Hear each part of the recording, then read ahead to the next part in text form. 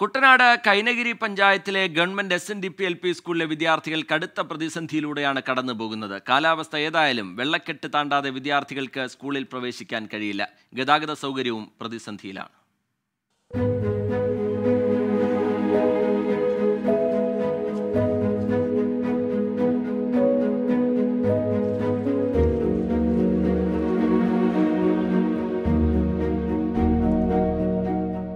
ഒറ്റത്തുരുത്തിൽ ഒറ്റപ്പെട്ടു പോയൊരു വിദ്യാലയമാണ് കൈനഗരി അഞ്ചാം വാർഡിലെ government S N D P L P school ആ ദുരന്തം പേറുന്നതാകട്ടെ വിദ്യാർത്ഥികളും. ഞാൻ എട്ട് പത്ത് വർഷക്കാലം മാത്രം ആദ്യം ഈ ഈ ഗ്രൗണ്ടിലും മറ്റുള്ള പ്രദേശങ്ങളിലും വെള്ളം കയറാതിരിക്കുന്നു. പക്ഷേ ആ സ്ഥിതി മാറിയിട്ട് ഏത് സമയവും മുന്നൂറ്റി അറുപത്തഞ്ച് ദിവസവും ഈ ഗ്രൗണ്ടിലെ വെള്ളക്കെട്ടിലാണ്. കുട്ടികളും അധ്യാപകരും മറ്റുള്ള ആൾക്കാരും ഒക്കെ ഈ സ്കൂളിലേക്ക് വരേണ്ടവരെല്ലാം വന്നുകൊണ്ടിരിക്കുന്നത് എന്നാൽ ഈ ദുസ്ഥിതി ഒന്ന് മാറ്റിത്തരണം. ഈ ഒരു അവസ്ഥ പരിഹരിക്കാൻ ബന്ധപ്പെട്ട അധികാരികൾ ഇതിൽ അടിയന്തരമായിട്ട് ശ്രദ്ധിക്കണമെന്ന് ഞങ്ങൾ അപേക്ഷിക്കുന്നു. സ്കൂളിലെത്താൻ വെല്ലുവിളികൾ രൂക്ഷമായതോടെ കൊഴിഞ്ഞുപോക്കും തുടങ്ങി.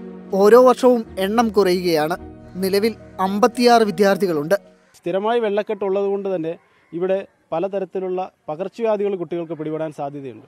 അതുകൊണ്ട് തന്നെ മിക്കവാറും രക്ഷകർത്താക്കൾ കുട്ടികളെ ഈ സ്കൂളിലേക്ക് പഠിക്കാൻ വിടുന്നത് തന്നെ വളരെ ബുദ്ധിമുട്ടിയാണ്. വളരെ പാവപ്പെട്ട കുട്ടികളാണ് ഇന്ന് ഈ കുട്ടികൾ ഈ സ്കൂളിലേക്ക് വന്നുകൊണ്ടിരിക്കുന്നത്. വെള്ളക്കെട്ട് പരിഹരിക്കണം കുട്ടികളുടെ യാത്രാക്ലേശം ഒഴിവാക്കണം. പക്ഷേ അധികൃതർ മൗനത്തിലാണ്.